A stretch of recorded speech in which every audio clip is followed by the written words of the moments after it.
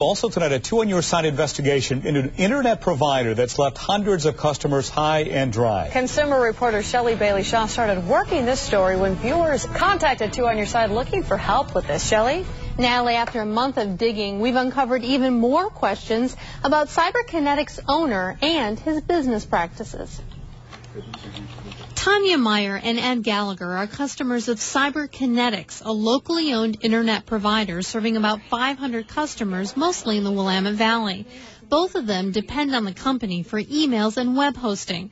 But after prepaying for the month, some customers a whole year, the service went down the first week of February and didn't come back. There's no way to get those emails to go anywhere else. There was zero information from them. Distraught customers descended on CyberKinetics' office in Wilsonville. There's been a long parade of people. Steve Pearson not only had a business next door to CyberKinetics, but he was a customer too. Being so dependent on the internet, it just it basically shut us down. For a month? Yeah.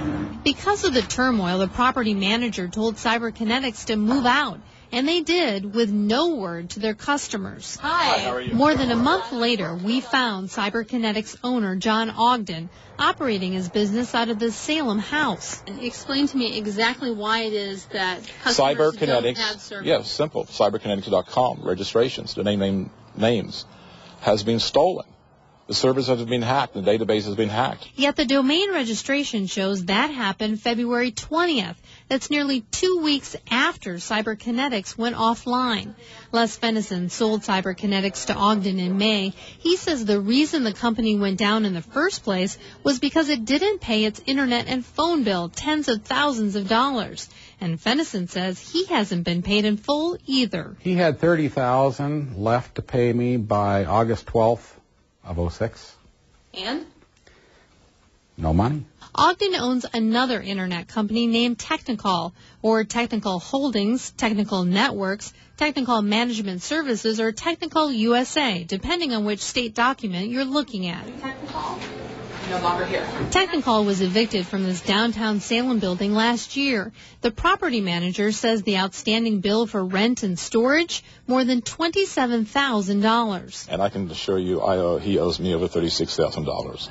Because of destroyed equipment? That is correct. Then there's Betty Perry, who invested with Ogden in 2003. In the neighborhood of $300,000 when everything is added up. There was a settlement in the case, but Ogden nor his attorney will comment. I was going to retire next year. so sorry.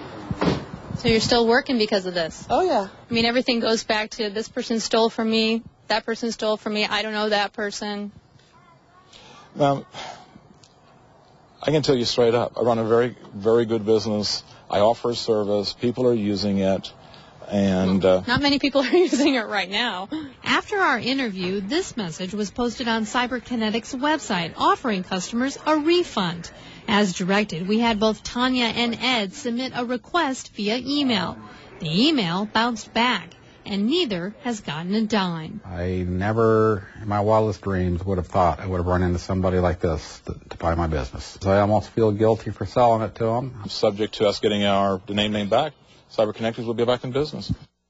John Ogden is also selling services on eBay, eBay under the name Voice One Direct. Now, we've contacted the Oregon Attorney General's office. They have opened an investigation and are taking complaints. And as with any other consumer problem, all you have to do is um, file your complaint online. And he says they're going to be back up. It will be back up in service. He couldn't say when or how. That's what he says. Mm-hmm. He also said that people were going to get refunds, and so far that hasn't happened. Not happened. happening. Very good information for us, Shellie.